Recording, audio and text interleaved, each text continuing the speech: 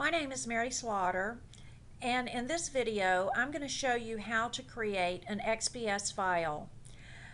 I have a document open that happens to be a syllabus for microcomputer applications, a course I teach, and I want to create an XPS file of it. It's, it's written in Word. The way I do that is I click on File, which this is what we refer to as a backstage view in Microsoft Office. I go down and I select Print. Underneath Printer, if I click the down arrow, I have a list of printers. Your printers, if you try to do this, will not look like mine because it's whatever you have installed on your computer. But you should have a Microsoft XPS document writer. You need to select that. After selecting that, I can print this whole document or I could select certain pages. I'm just going to go in and select certain pages. I'm going to scan down here to the very end of the syllabus and all I want to print is just the lesson plan. I have a lesson plan at the end, which is just two pages.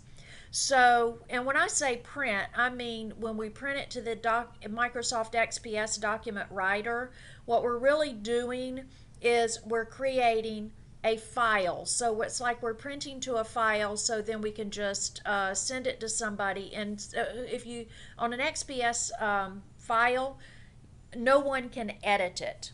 So I'm going to click on print after I type in the pages I want. I typed in the pages right here. You see that page 10 and 11. I'm going to click on print. It turns into a save operation. I'm going to navigate over to where I want to save this. And I am going to go down and save it in a folder that I've named videos. And I'm going to name it um, CGS 1100 lesson plan. Sample for video on XPS files. So I'll know I used it for, for that. So I'm going to click on Save.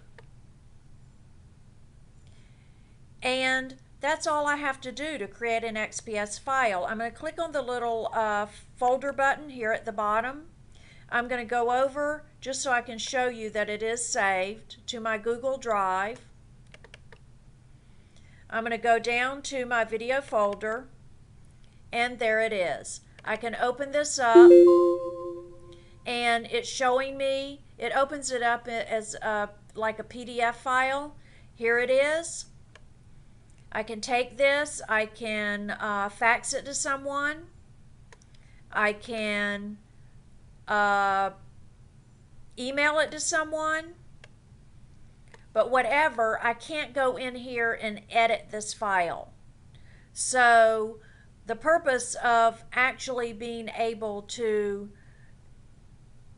create an XPS file is to be able to send it to someone, send just certain parts of a document to somebody. Like I, I, I, if I'd have just saved it and sent the whole thing, I would have ended up sending a whole Word document. If someone gets that whole Word document and they open it up, they can edit it and then they could forward it on to somebody and say, hey, look what this person wrote.